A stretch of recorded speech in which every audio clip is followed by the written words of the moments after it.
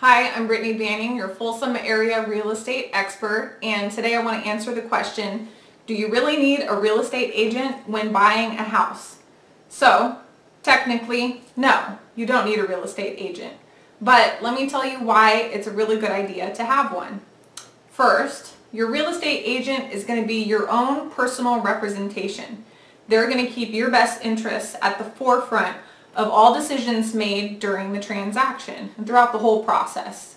They're trained in the legal paperwork that's required and they are knowledgeable about the deadlines that need to be met during a transaction, which is really important when it comes to things such as your deposit money.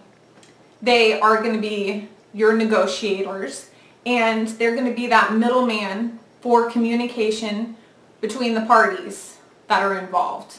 They're going to help you through the inspection process and they're going to stay on top of your lender to make sure that your loan is on time and where it needs to be when it needs to be during the process.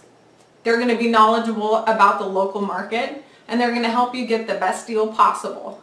But best of all, in California, traditionally, the seller pays for both the listing agent and the buying agent commissions.